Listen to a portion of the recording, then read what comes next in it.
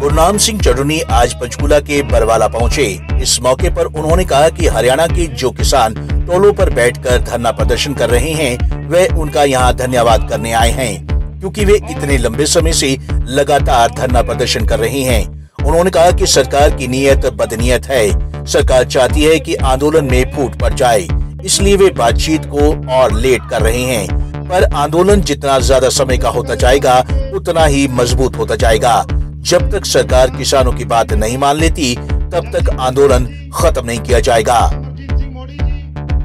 देखिए, जो किसान बहुत दिनों से टोलों में बैठे हुए हैं,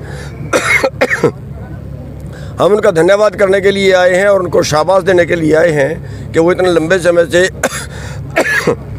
दिन रात धरना चला रहे हैं और बहुत इस आंदोलन में सहयोग कर रहे हैं। देखिए, सरकार की जो नीयत है वो बदनीयत है और वो सोच रहे हैं किसी तरह से आंदोलन टूट जाए आंदोलन में फूट पड़ जाए या लोग दुखी होकर अपने घरों को चले जाएँ।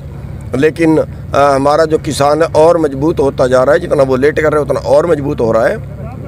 और जब तक हमारी बात नहीं मानी जाएगी तब तक ये आंदोलन जारी रहेगा सरकारी अस्पताल रहा उसके बराबर में प्राइवेट खोल दिया गया। सरकारी की आप हालत देखते हो।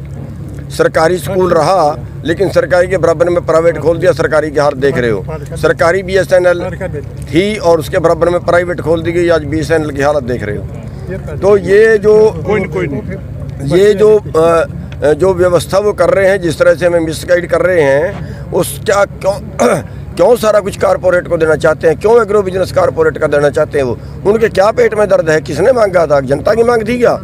वो जन जब जनता मांग ही नहीं रही जब जनता जो मांग रही है वो दे नहीं रही जो नहीं मांग रही है वो ज़बरदस्ती थोप रहे हैं। इसके पीछे क्या राज है? इसके पीछे है कि वो अपने मित्र उसके अंबानी और अडानी जैसे जो लोग हैं उनको पालना चाहती है। तो आगे क्या रूपरेखा रहेगी? आंदोलन को किस तरह से देखिए आज संयुक्त किसान मोर्चे की मीटिंग आ, अभी होगी शायद उसमें कुछ फैसला ले लिया जाए और ये तो तय है कि हम तब तक घर को नहीं मोड़ेंगे जब तक हमारी बात मानी नहीं जाएगी। ये तो तय। कोई बड़ा फैसला भी संयुक्त मोर्चा जी फैसला भी बड़ा फैसला भी हो सकता है अगर सरकार मानेगी नहीं तो बड़ा फैसला भी हो सकता है लेकिन उसका अब कहना थोड़ा जल्दबाजी हो जाएगी क्योंकि सभी इकट्ठे फैसला लेंगे।